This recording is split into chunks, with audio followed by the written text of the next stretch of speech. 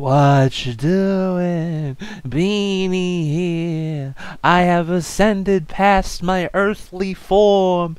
I am part of the stars in the solar system. I still have my Mello Yello though, 'cause I'm always thirsty. What you doing? Do you want to reach this level of enlightenment in your own life? There's only one way to do it, dude.